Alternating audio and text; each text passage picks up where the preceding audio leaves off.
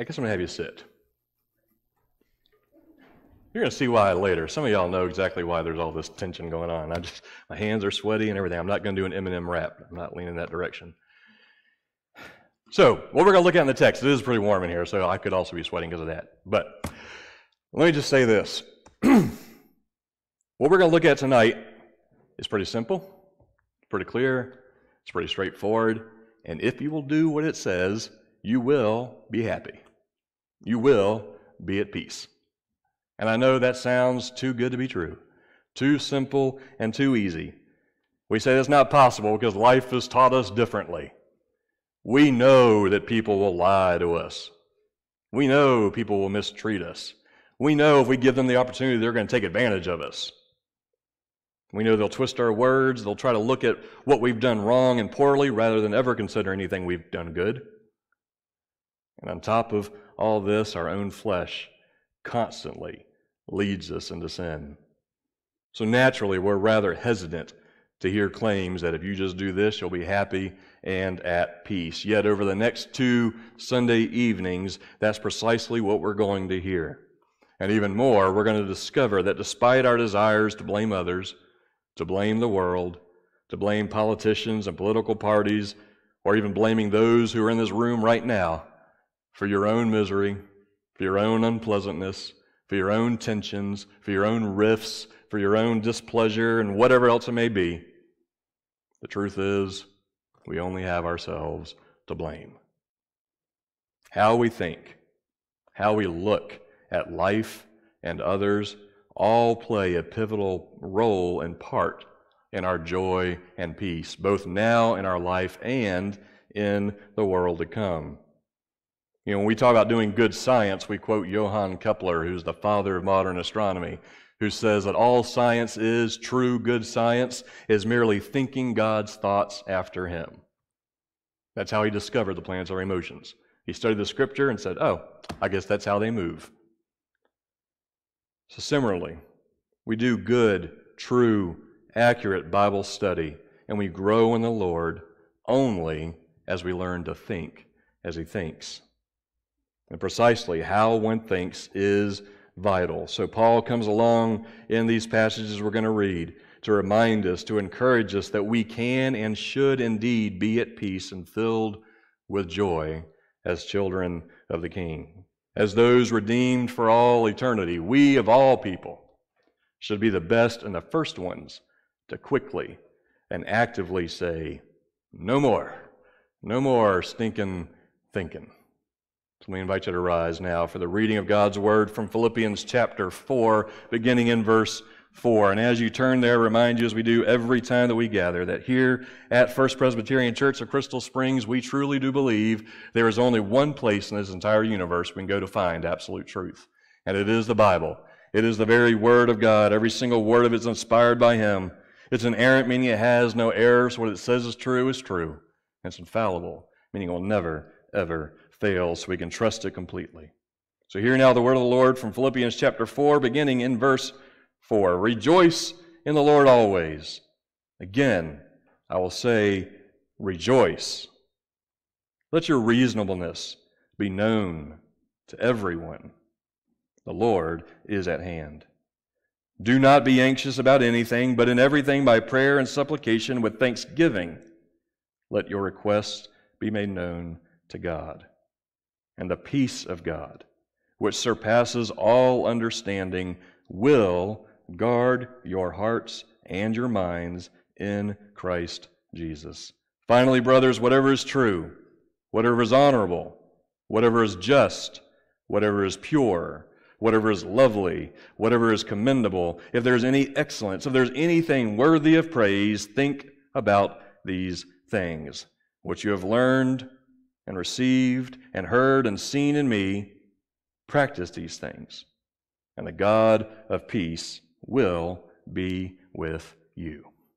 The grass withers and the flower fades, but the word of our God endures forever. This is the word of the Lord. And the people said, Let's pray. Father, thank you for your word. Holy Spirit, would you indeed tear down walls and barriers, rip up stony ground, crush our hearts, that we would be made like you. We ask it in Jesus' name. Amen. You may be seated. Like I told you, you read that text and it sounds pretty simple, sounds pretty easy. It's very upbeat. I mean, that's the whole theme of the letter. And it's encouraging you and it gives the guarantee and promise. If you do these things, the peace of God will guard your hearts and minds. The guarding, the term that Paul uses there, is the same one he would have seen outside the prison, the guards. There's a lot of inside jokes by church fathers and theologians that said that's probably why he wrote the word guard. He's writing a letter, looked up and said, It'll guard you. That's a good analogy. I like this one. But here's the thing if you want that to happen, you got to do something. If you want joy and peace that can't and won't ever be taken away because it's guarded by the God of peace himself, then you got to do something. And what you have to do is actually pretty simple, but it's not easy because it's going to require a complete rewiring of your brain, of how we think, how we act. You know, neuroscientists talk about the fact that the brain, the actual shape and wrinkles in the brain will change as you learn and study things. Learn new disciplines, new behaviors, new information. You literally change the shape and size and direction and everything else of how your brain sits. There's a reason we're to require and wash our minds in the Word of God.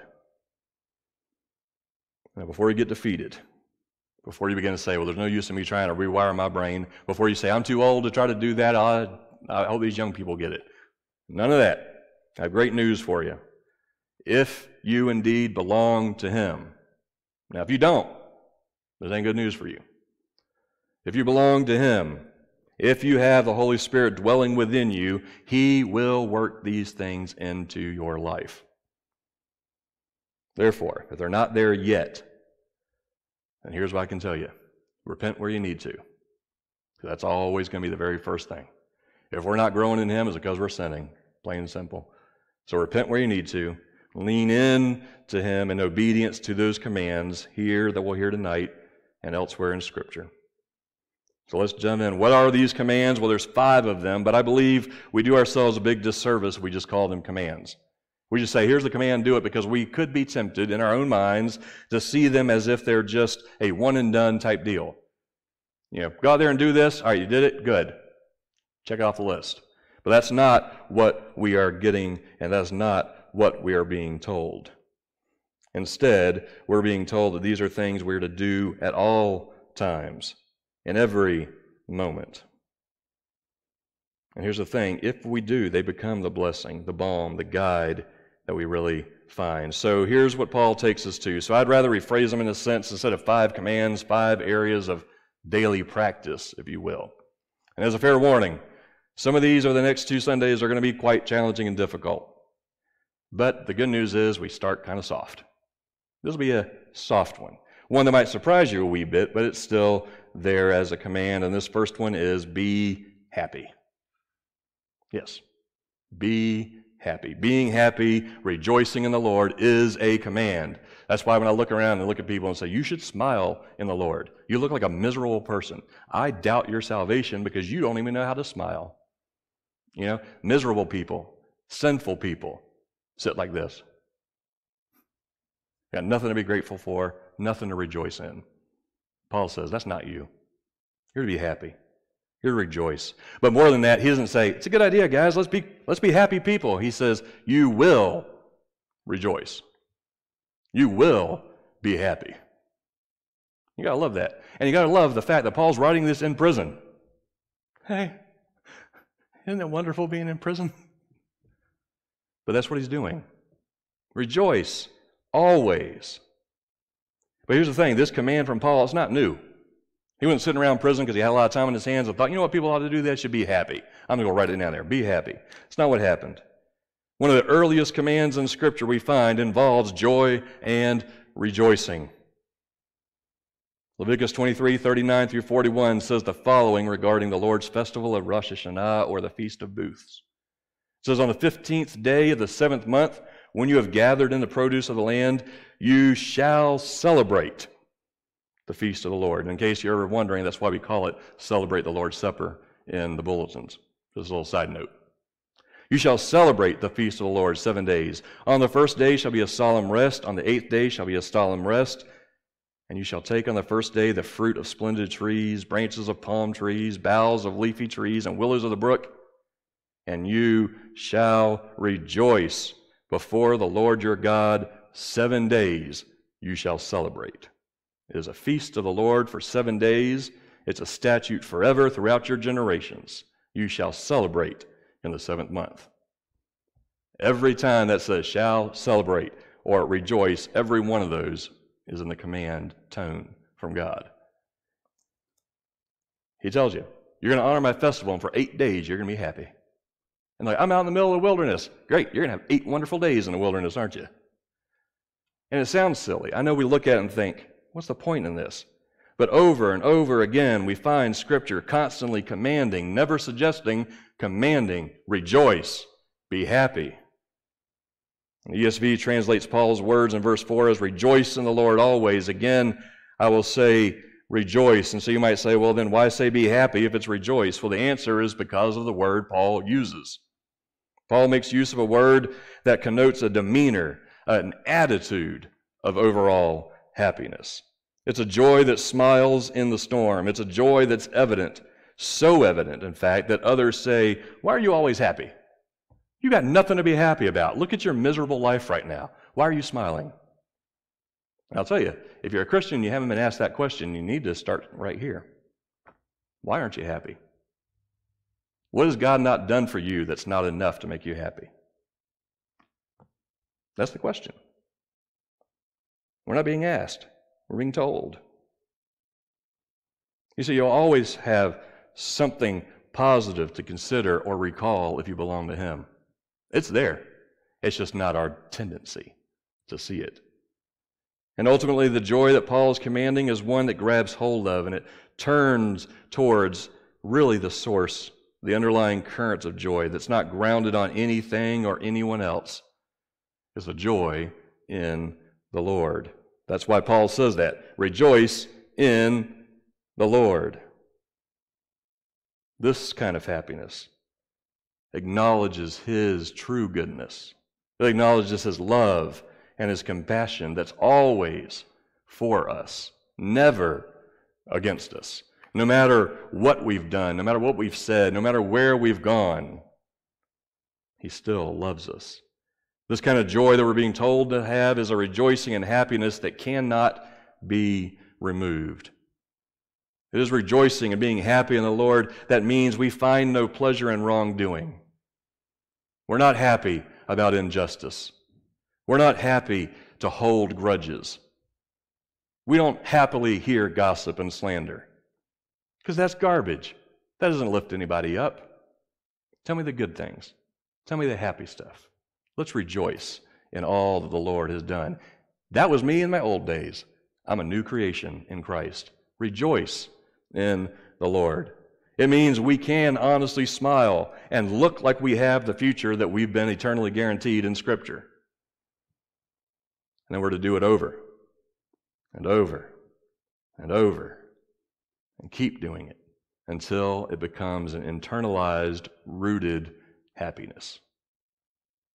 And here's why this command should motivate you and lift you to obey. See, when this rejoicing in the Lord takes hold, then it's that rooted happiness that you find yourself thrown against and crashing against when you're laying on the floor, unwilling to speak, unwilling to move because of the soul and mind crushing depression that floods through you. The commanded joy for the Christian teaches us to know, to look for, to listen to that soft voice that still calls in the storm and reminds us and says, It's okay. You are mine. You're going to be okay.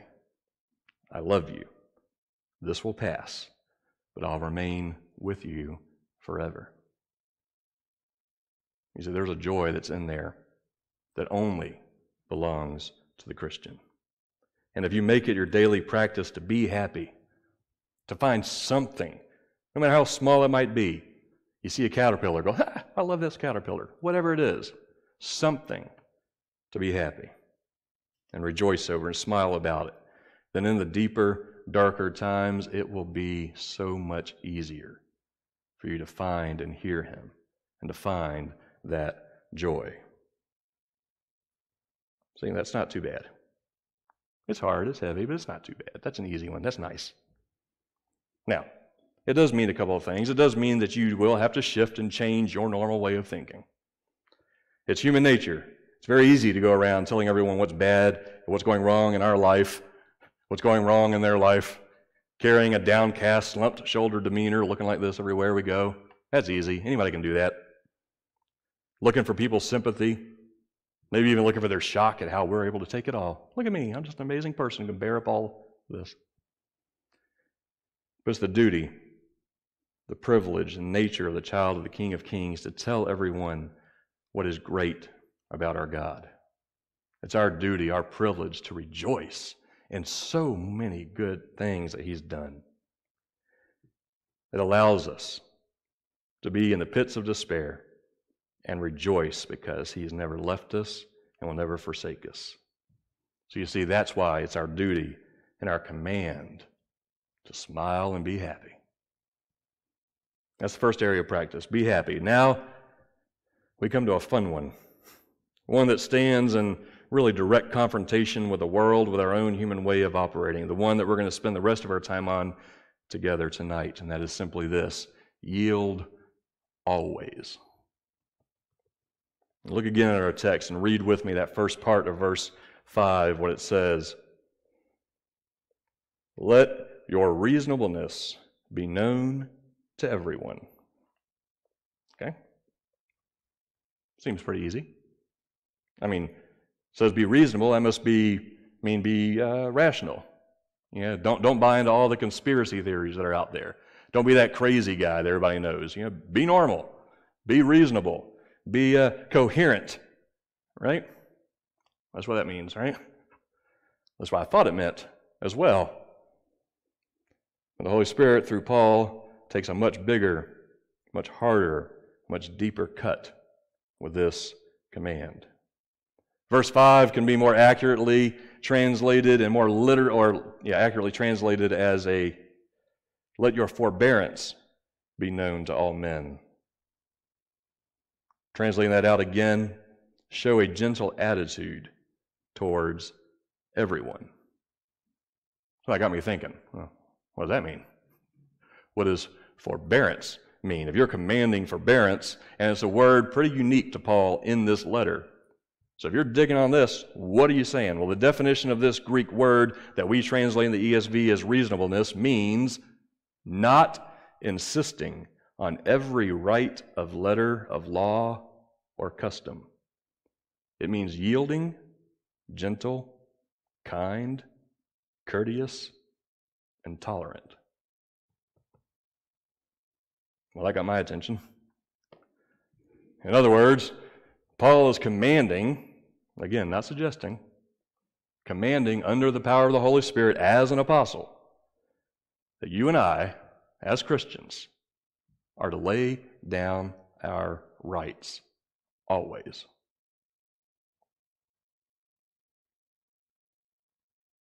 I know.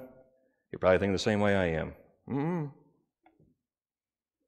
Paul commands us to lay down our rights at all times, lay down what we may even know and believe is ours by right, by law, by custom. And when are we to do it? Once a year? Once a month? Once a week? No. At every single moment of every single day. So, what does that look like? What does this mean? What is it we're supposed to be doing every single day?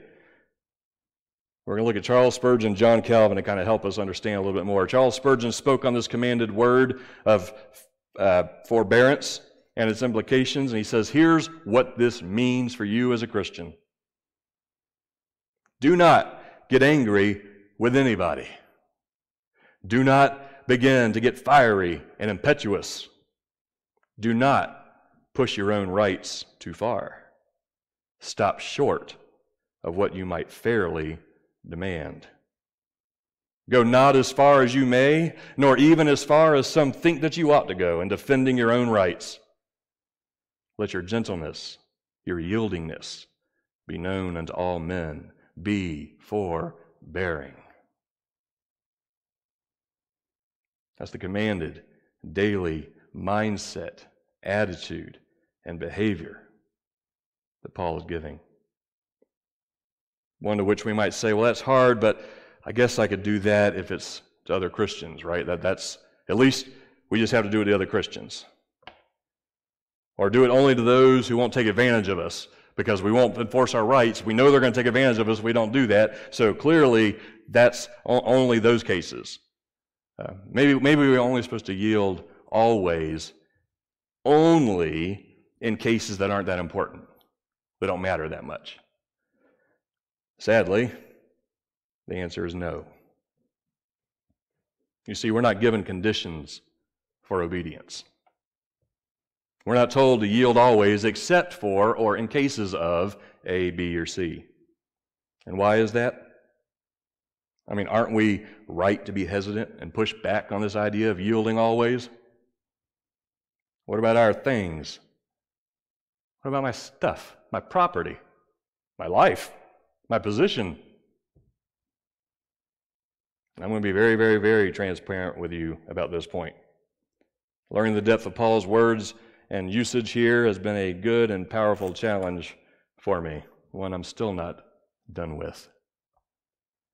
When I learned that Paul meant more than just being an agreeable, reasonable, likable person, which I feel like I do pretty well, but actually commands and demands that I lay down my rights, even, even when they're mine by law. It's hard. This command does mean those things. But let's be clear on a point, something I don't want us to miss in the going deep here. If you're a person that's known as a difficult person, you're the cantankerous one. You're the one people feel they need to prepare themselves for before they go meet and talk to you. You're the person that people tend to just ignore, don't invite out, minimize their engagements with. I'm going to tell you right now you are not being reasonable. You are not being forbearing. You're not being gentle and yielding. So, for you to keep demanding your way, you need to know that's not His way at all. So, let's not miss that very simple direct approach. But as we're seeing, it goes far, far deeper. So, what did I do when I read this and learned this term? Well, I did what all good Christians do I said no. I flat out told God, I said, no. I'm not, I'm not going to do that. And I don't want to do that. I'll be taken advantage by others. I know it. I've had a career before I became a pastor. I've been in the world for decades, and they will look for every opportunity to take you out if you give it to them. So, I repented. I prayed. I looked more, only to discover that my protest had already been answered in the same verse, the last part of verse 5. It says, uh, excuse me, I jumped the wrong verse. Verse 5 Let your reasonableness be known to everyone. The Lord is at hand. Now, this statement is not written as a segue to the next subject. The ESV puts a punctuation in a bad spot, so that just happens. It's not a connection to that next sentence. It's written on its own for one reason and one reason only to motivate, encourage, and challenge all of us to obey fully and quickly all of his commands, but specifically right here in laying down, surrendering, and not pursuing what is ours by right or custom. Listen to what John Calvin says about this motivation. He says, For carnal sense, talking about our human nature, rises in opposition to the foregoing statement. Rise, in other words, we reject naturally the idea of laying down our rights at all times.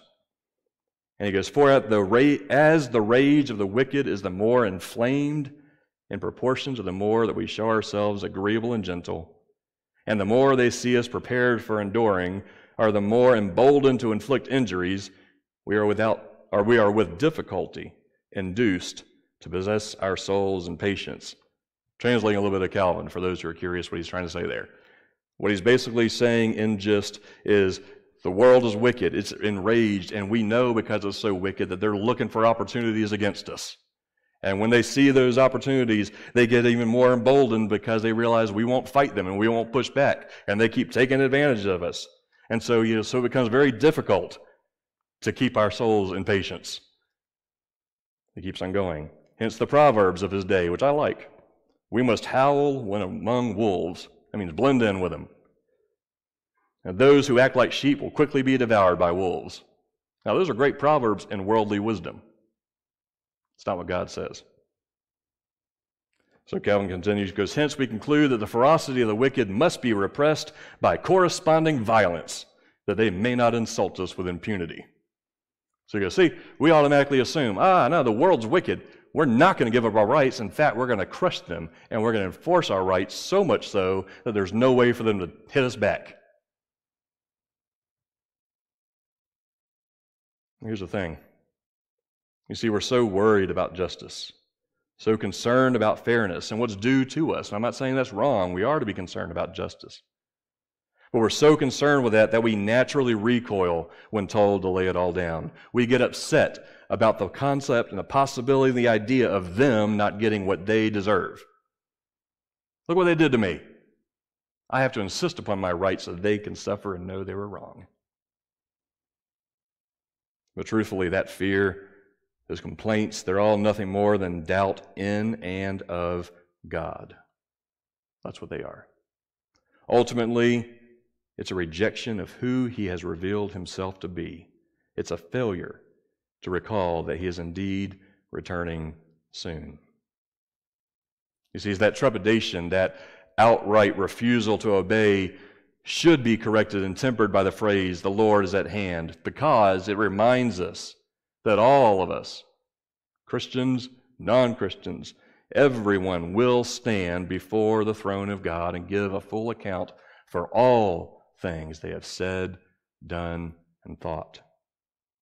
And on that great day, at that time, all the moments of forbearance, all the moments where we willingly, in obedience to His command and happily, gave up our rights and laid it all down for His sake. On that day, it'll be fully settled and resolved by the only one with the right, the law, and the power to do so justly. Now, if you're like me, perhaps you still want to resist. You hear all that and go, I see it, but I don't like it.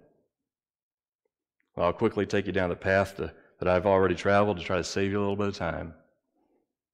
Begins with a no. Not going to do it. Then moves to the, okay, fine. What if, what if I try it? What's it going to look like? To which, after that is answered, I say, well, Paul, he insisted on his rights. Yeah, I'm trying to be slick with God. I'm trying to show you that this doesn't work, and it's a foolish idea, but it still happens. I figure I can out argue God on his text. So he says, This is what we're going to do. I'm like, No, we're not. I was like, well, okay, so what if? Fine. What about Holy Spirit? Or what about Paul? And the Holy Spirit says, did he insist on his rights? So, looking at what landed him in prison, you realize what led him there to write this letter was this protest and insisting upon his right to make his case and appeal before Caesar. You're like, wow, he's insisting on his rights. However, he wasn't doing it to defend himself. He didn't do it to prove himself. He did it for the defense and sake of the gospel. You see, he did it because he started off with them accusing him, and he says, Hey, brothers, I'm being accused. You knew what he was doing. I'm being accused of believing in life after death. And then the Pharisees lit up on the Sadducees, and everybody went to fighting. This whole thing breaks out. They're going to arrest him, beat him, all kinds of things happen to him. And the man's like, Look, I'm a Roman citizen. Let me appeal to Caesar. But he wasn't appealing for his own sake. He's appealing, as he even said multiple times in his own letters, by his own words. So we're not putting this in his mind. He appealed for one reason, one reason only that Caesar himself could hear the gospel. He thought, I'm in a great opportunity. I'm a Roman citizen. I can appeal to go to Caesar to use my rights, but I'm really not interested in my rights. I just want to get there and tell Caesar, you need Jesus. And that's what he does. So I said, fine. We'll take Paul off the list. I guess Paul wasn't being hypocritical. I guess he really believed in laying down his rights. And I said, Well, still no. So then Isaiah 53 7 comes to my mind. A verse that would later be expounded on by Philip with the Ethiopian eunuch. A scripture that speaks of our Savior. Isaiah 53 7 says, He was oppressed, He was afflicted, yet He opened not His mouth. Like a lamb that is led to the slaughter, and like a sheep that before its shearers is silent, so He opened not His mouth. All right. I think you can see where I'm going. The pressure is mounting on me pretty poorly. Uh, not only did Paul follow this, but Jesus himself also followed it. And if anyone ever had the right to argue for and insist upon what is his by law, by right, by custom, it was Jesus. And yet, when Jesus stands before Pilate, defend yourself, give me your answer, tell me what's going on, he says nothing.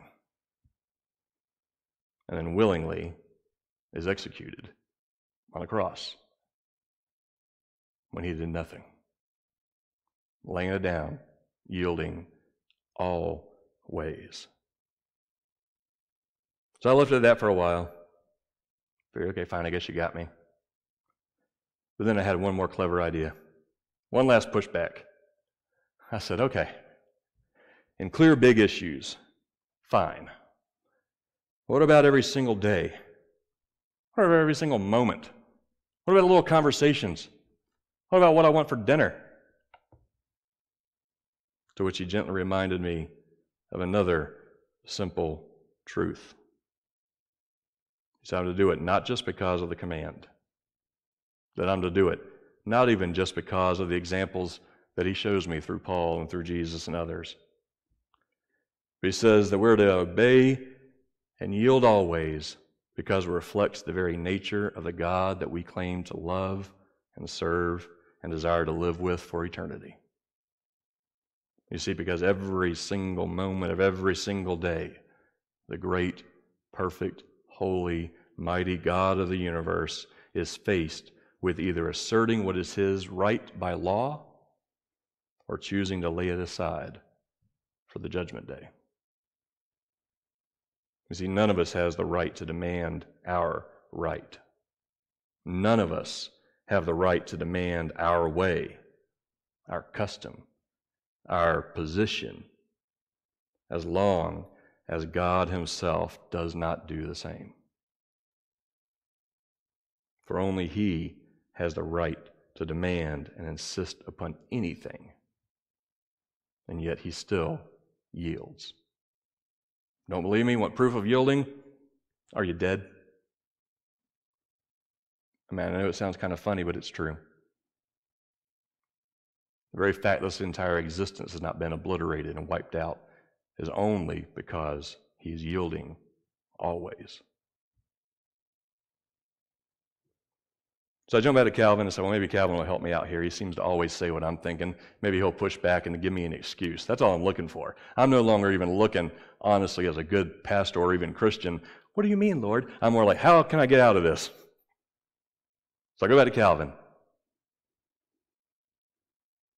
And it wasn't until after I traveled this path and walked y'all through it, that's why we spent some time talking about it, that I was able to finally return to his commentary and appreciate the power of what we're about to read together. I'm going to have it on here so you can read along when I read it. But after writing on the command to lay it all down, to yield always, Calvin writes this Here we have a most beautiful sentiment from which we learn, in the first place, that ignorance of the providence of God is the cause of all impatience, and that this is the reason why we are so quickly and on trivial accounts thrown into confusion, and often, too, become disheartened because we do not recognize the fact that the Lord cares for us. It's the first part. Second part, on the other hand, we learn that this is the only remedy for tranquilizing our minds when we repose unreservedly in His providential care, as knowing that we are not exposed either to the rashness of fortune or to the caprice or wishes of the wicked, but are under the regulation of God's fatherly care. And here's the big point of the whole thing the man that is in possession of this truth, that God is present with him, has what he may rest upon with security. In other words, he says, Why do we resist? Why do we not want to yield at all times? Because ultimately, we don't trust God. And we're afraid. We don't realize that our sovereign God is a loving God who cares for us. We actually believe when we behave that way, when we insist upon our rights, what we are declaring and showing and proving with our own actions and words is we truly do not believe God can nor will provide for me unless I do this first. We're saying God's will can't be fulfilled if I don't stand up for myself. You know, we fail to recall his sovereignty in these moments. We shift from trusting what Scripture declares that all we are to have has been and will be given by Him with no one able to hinder. We're afraid that He won't bless and provide for us, so instead we turn to our own selves, to our own wisdom, to our own minds to defend, to arbitrate our case.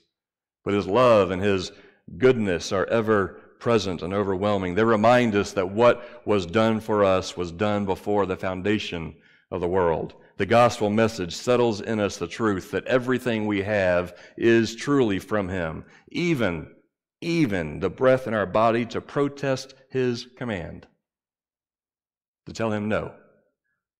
Even that is a gift from God. We have it all because of His own forbearance. We had it because he laid down his rights by law.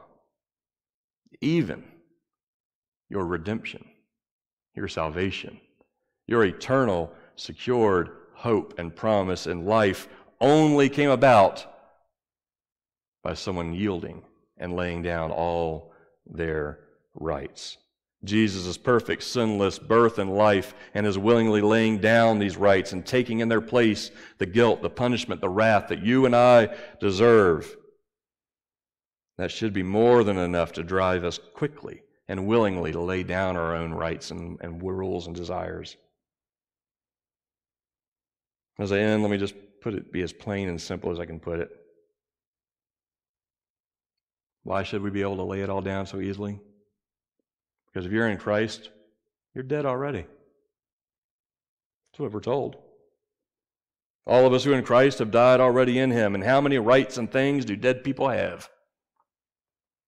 Now, if you're a conspiracy person, you probably believe they all vote in every election. But jokes aside, how many do dead people have? None. Why? Because they're dead. We too no longer have any rights because we're dead. As it says in Galatians 2:20, I've been crucified with Christ. It is no longer I who live, but Christ who lives in me. And the life I now live in the flesh, I live by faith in the Son of God who loved me and gave himself for me. Therefore, yield always to all people, at all times, in every circumstance, trusting in the goodness and providence and sovereignty of your Father who knows what's actually best and right in every moment.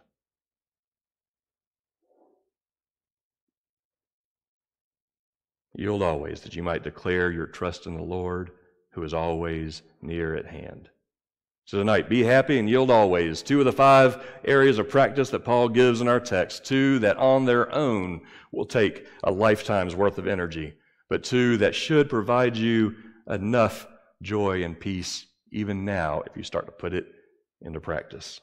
Two areas that will radically change not only the enjoyment of your life, but your very outlook and how you will live every single day. Two ways of thinking and acting that will air out that dirty brain of ours and begin to clean away the stinking thinking. So here's the takeaway for those outside of Christ I'm going to challenge you for this night and the next week and every night, but to have an open mind. And I know the lost love to try to claim the church doesn't have an open mind. They clearly never talk to a real Christian. We probably have the most open mind of anybody. Because once you realize there is a God who's made all things, once you realize that everybody will die unless he returns, then you have to face the fact that there is something that you will do when you draw your last breath, and that is stand before the God who knows all things and commands these very words. You see, a closed mind looks inward. A closed mind uses its own self to determine what's true and what's right. A closed mind will interpret Scripture the own way they want to interpret it, in a way that allows them to live life the way they keep living it. But an open mind is able to see beyond themselves and look to the world as a whole. So outside of Christ, your mind is dark. But if you'll confess and turn to Him, He'll bring you and He'll place you from darkness to light. But do that now. Open your mind. For those in Christ, this can be the same takeaway tonight and next week. Pick a practice. Right now, you got two to choose from. Maybe it's both. I don't know where you are. If you're like me, I definitely know one of them for sure I've got a real issue with. Put it to practice. Is it more forbearance? Is it rejoicing always? In fact, all that's a practice right now. You know, real fast one. Everybody smile. I'm to look. If you ain't smiling, I'm to know. so I'm trying to maybe see your smile. Yeah. Be happy. All right? Let's pray. Father, thank you for this word. Father, thank you that you love us enough to give us hard words, to command us to change, because you said you will make us like Jesus. And Jesus laid it all down. Jesus rejoiced in all things, rejoicing in every moment, even on the cross, rejoicing, as it says, going with the joy set before him. So, Holy Spirit, let us do the same. We ask this in Jesus' name. Amen.